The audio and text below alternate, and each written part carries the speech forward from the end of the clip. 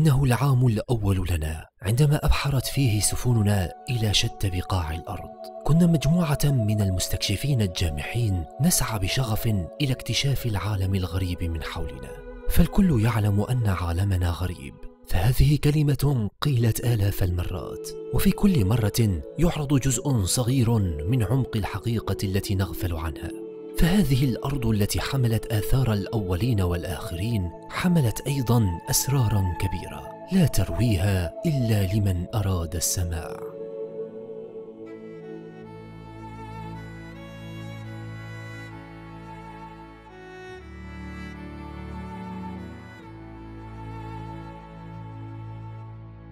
هذه ليست جولة نمطية بين السهول والهضاب بل هي رحلة عميقة. رحلة إلى قلب الأرض وأطرافها. نقرأ فيها أخبارا من كتب الأولين والآخرين. عن أماكن عجيبة لم يطأها سوى القليل من البشر. فمن بحر الظلمات إلى جزر الضباب ووصولا إلى بوابات العالم السفلي. تكتب الأرض حروفا نرويها لكم في وثائقي أراضي الأرض الغامضة ورحلة العالم المجهول.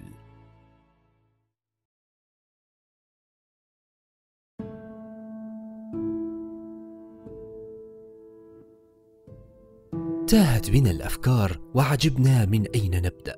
فتركنا سفينتنا تمضي بنا بعيدا إلى أن وصلنا إلى بقعة عميقة جدا. يقال لها الكهوف العاموديه ولكنها تعرف بين الناس باسم الحفرة العظيمة الزرقاء. وبعد وصولنا إلى هناك اكتشفنا امرا عجيبا حقا أنها لم تكن كهفا أو حفرة بل كانت بوابة غامضة تحت الأرض والبحار.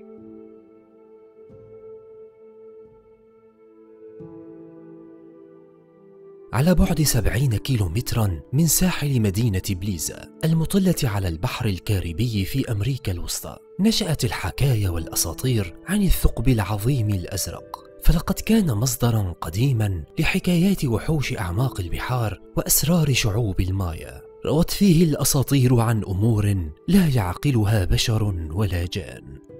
يتكون هذا الثقب العظيم من نظام معقد بعرض يزيد على 300 متر من الكهوف الكلسية والتي تتصل بممرات معقدة مجهولة النهاية تحت الأرض. بدأت القصة في عام 1971 عندما قدم البحار والمستكشف جاك كوستو بسفينته كاليبسو وكان العمق الأولي المقاس لهذه الحفرة 125 مترا. بدأ الغوص الأول فيها وكان كافيا لاكتشاف ممرات وكهوف أرضية تحت البحر. إلا أنه بدا من المستحيل الوصول لنهاية هذه الأنفاق المجهولة. أحس جاك حينها أن هذه ليست حفرة أو مجرد كهف تحت البحر بل كانت بوابة سفلية لعالم جديد.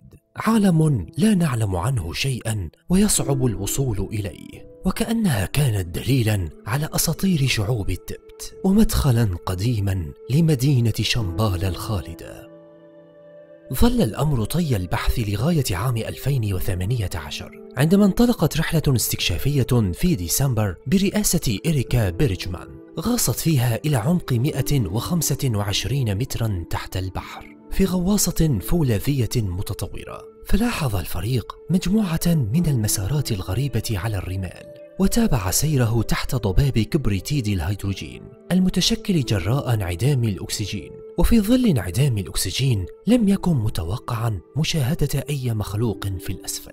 ولكن عندما وصلنا إلى قاع الحفرة فوجئنا بوجود سرطانات وقواقع وغيرها من المخلوقات. وباستخدام السونار اكتشف الفريق وجود عدد كبير من الصواعد والهوابط المعلقة وكأنها أعمدة جليدية ضخمة. مع ممرات أفقية وسفلية شديدة الظلمة فاستطاعوا أن يرسموا خريطة ثلاثية الأبعاد لتلك الأنفاق المظلمة. ولكن الشيء الغير متوقع أن أسرار تلك الحفرة العميقة وما وجد فيها ما يزال طي الكتمان إلى الآن. وظلت همسات المستكشف جاك الأخيرة أنه عثر على بوابة العالم السفلي تحت البحر.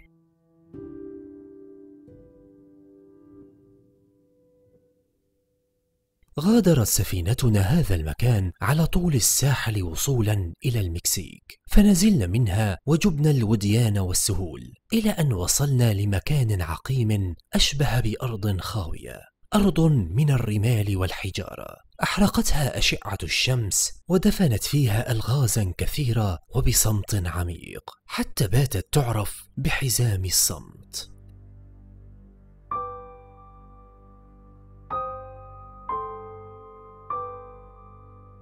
في صحاري منبيمي شمال المكسيك يقبع الصمت هناك وسميت حزام لأنها تقع على نفس خط العرض مع مثلث برمودا على الجهة المقابلة من بحر الظلمات.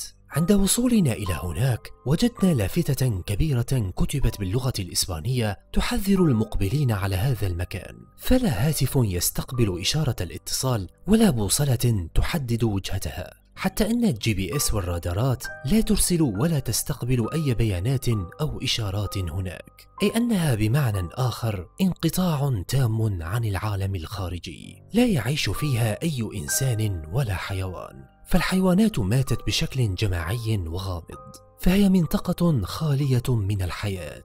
تنتشر فيها الحيوانات النافقة التي دخلت إليها ولا يوجد سبب ظاهري للموت الجماعي لها. فتلك الحيوانات ماتت سليمة بدون أي أثر لتدخل إنساني أو حتى صيد. حتى أن النسور والسباع التي تأكل الحيوانات النافقة تبتعد تماما عن الحيوانات الميتة في تلك المنطقة وتظل هكذا حتى تتحلل بهدوء.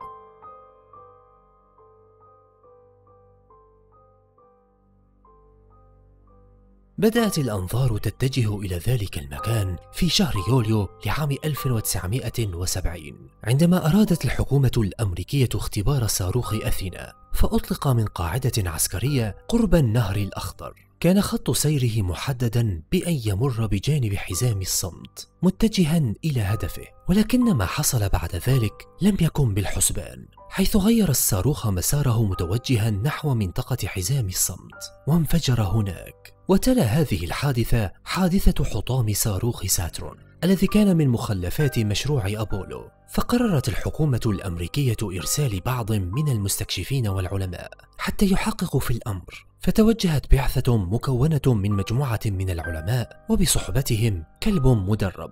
وما إن دخلوا حدود هذه الأرض حتى بدأ الكلب يتصرف بشكل مريب وينبح بشدة نحو الفراغ وكأنه يرى شيئا لا يراه الإنسان. وبدت عليه علامات الذعر والخوف تجاه خطر حقيقي. وفي صباح اليوم التالي لم يجد العلماء أي أثر للكلب. وفي نفس الوقت لاحظوا أيضا التصرفات الغريبة للطيور المهاجرة تحديدا عند مرورها بسماء هذه الأرض. فقام الفريق بجلب سلحفاة ودراسة التغيرات التي قد تطرأ عليها. فوجد أنها أصابها شيء من الجنون إذ انقلبت على ظهرها وظلت تنظر نحو الشمس بدون أي تفسير. كان من المقرر المكوث هناك نحو عشرة أيام إلا أنهم في اليوم الثالث شعروا بالإعياء والمرض الشديد وعانى البعض منهم من الهلوسة الشديدة فكتب أحد المستكشفين شهادته قائلا لقد ظهرت علينا علامات التعب والإرهاق الشديد. كما عانى الكثير منا أنواعا من الهلوسة القوية. شعرنا كما لو أن أحدا يدفعنا للخروج من تلك البقعة المريبة. أنا أثق تماما بأن شيئا ملعونا يقبع هناك. يعيش بالقرب من هذا المكان مجموعة من السكان المحليون وهم يعلمون خطر تلك المنطقة. فقد رويت العديد من القصص والمشاهدات عن أشياء غريبة تحوم فوق سمائها. روى بعضهم أنه رأى سحبا بألوان عديدة من الدخان بما يشبه الألعاب النارية تحوم فوق المكان. كما يظهر في ليل هذا المكان بعض الأجرام السماوية الغير متعارف عليها. وفي رواية أخرى للسكان المحليين رأوا كرات نار تتشكل في السماء وتختفي في أجزاء من الثانية. كما شاهد السكان المحليون بعض العلامات الغريبة الموزعة على أطراف الصحراء القاحلة. كما لو أنها نقوش تعود إلى زمن بعيد تشكل مشاهد غير مفهومة مثل عدة دوائر متداخلة وكأنها علامات تشير إلى شيء ما.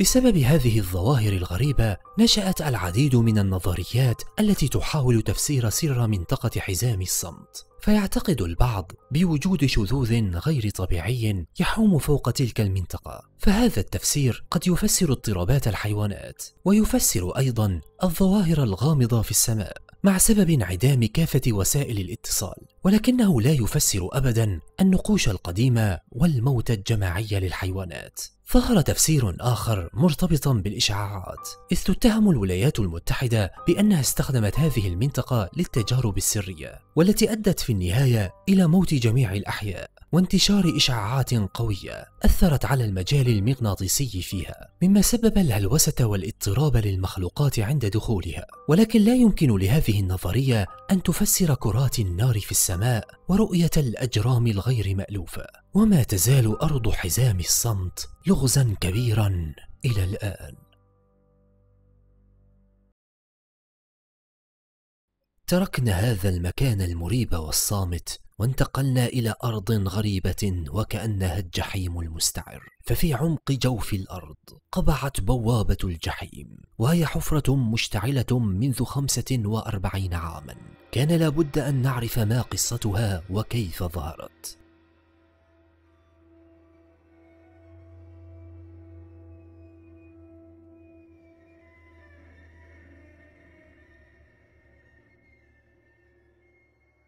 تقول الحكاية إن فريقا من العلماء الروس بقيادة شخص يدعى أزاكوف كان قد حفر حفرة بلغ عمقها تسعة أميال أي ما يقرب من أربعة عشر كيلو مترا ونصف قبل أن تصل في الأرض نحو تجويف في الأسفل. فقرر أزاكوف أن يجري بعض الاختبارات والتجارب إذ لم يصل أحد إلى هذه المسافة من قبل. فأنزلت بعض الميكروفونات المقومة للحرارة مع عدد من المعدات الحسية الأخرى داخل هذه الحفرة. ولكن بعيدا عن الأعماق لأن درجة الحرارة هناك وصلت إلى 1100 درجة مئوية وهي درجة كافية لصهر المعادن. كانت الميكروفونات المنزلة شديدة الحساسية وقادرة على تسجيل الأصوات الغير مسموعة للأذن البشرية بهدف تسجيل حركة طبقات الأرض. ولكن ما تم تسجيله كان مفاجأة. بعد تعديل الصوت إلى مقياس الأمواج المسموعة للإنسان سمع أفراد الطاقم صوت رجل وكأنه يصرخ في هذا المكان. كان هذا الصوت بمثابة الصدمة لجميع العاملين. فقد ساد الصمت بين أفراد الطاقم فظن بعضهم أنه صوت المعدات المستخدمة في الحفرة. فأمرهم أزاكوف بإطفاء جميع المعدات والتزام الصمت والتجربة مرة أخرى. ولكن في هذه المرة سمعت أصوات لرجال ونساء يصرخون في باطن الأرض وكأنهم يعذبون في الجحيم.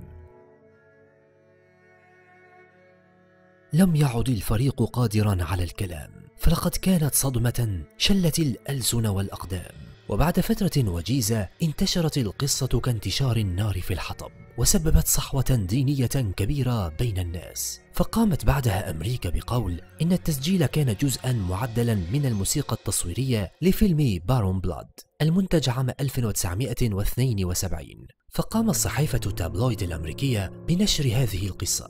بالإضافة إلى صحيفة Weekly World News فظهر أول تقرير في الولايات المتحدة على ما يعرف ببئر الجحيم. وبعدها قامت شبكة الثالوث للبث الأمريكي TBN ببثها على شبكتها الخاصة واعتبرتها أنها دليل على وجود الجحيم. وكشفت أمرا غير متوقع عن الثقب الأزرق الذي تحدثنا عنه آنفا والغواص جاك. وقالت إن الغواص الشهير جاك كوستو تخلى عن الغوص في الثقب الأزرق العظيم بعد سماعه صرخات الناس المعذبين تحت الماء.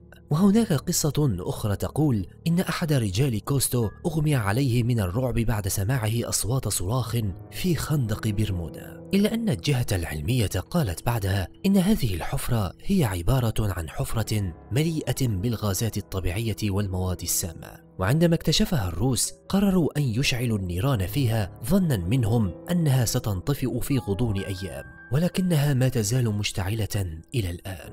ما يؤكد بطلان هذه الرواية فقد أثارت هذه القصة الجدل الواسع في أنحاء العالم. منهم من صدقها ومنهم من كذبها. أما أزاكوف فقد صرح قائلا أنه لم يكن مؤمنا بخبر السماء ولكن الأمر اختلف بعدما رأى صورة من الجحيم.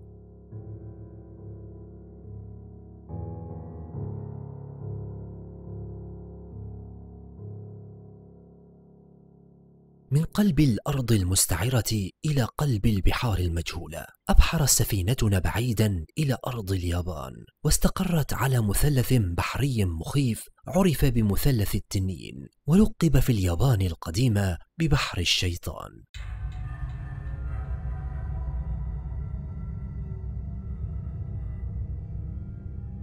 في المحيط الهادي حول جزيرة ميكاي اليابانية وعلى بعد 100 كيلومتر جنوب طوكيو تقع منطقة بحرية غامضة قيل إنها كانت بوابة العالم القديم ومكان اختفاء السفن بالكامل. فعلى عكس أكذوبة مثلث برمودا ما تزال حوادث الاختفاء في بحر الشيطان قائمة إلى الآن. بدأت القصة في الحرب القديمة بين اليابان والفلبين. عندما اختفت حاملتان للطائرات تابعة للجيش الياباني خلال عبورهما في بحر الشيطان ولا يزال مصير الحاملتين مجهولا إلى اليوم. وفي عام 1939 أقلعت طائرة حربية أمريكية من مطار سان دياغو مرورا ببحر الشيطان. وما إن عبرت من فوقه حتى باتت الرحلة تمر بظروف عصيبة بالرغم من أن الظروف المناخية كانت مناسبة للطيران ولا وجود للعواصف فاستطاع القبطان النجاة منها عائدا إلى القاعدة الجوية فهرع إليها المسعفون ليكتشفوا أن جميع ركابها فارقوا الحياة وتوفي قائد الطائرة بعد فترة وجيزة أيضا. قام فريق من المختصين بالكشف عن الجثث ليكتشفوا ثقوبا مريبة في أنحاء الجسد. كما لاحظوا أيضا التلوث الشديد الذي أصاب جلودهم ولا تزال الأسباب مجهولة بدون تفسير. وما بين عامي 1952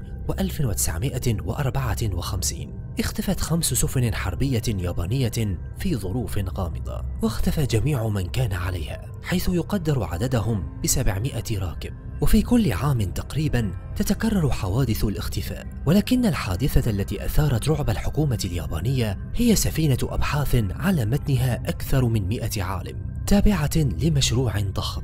بغية البحث في هذا المثلث الغريب زودت السفينة بجميع الأجهزة الحديثة للاتصالات والبحوث وبجميع ما يلزم لرجوعها آمنة ولكنها اختفت دون أي أثر. وفي ذلك اليوم أعلنت الحكومة اليابانية عن خطورة هذه المنطقة ووضعتها ضمن المناطق المحظورة وتم التعتيم عنها في جميع أنحاء العالم.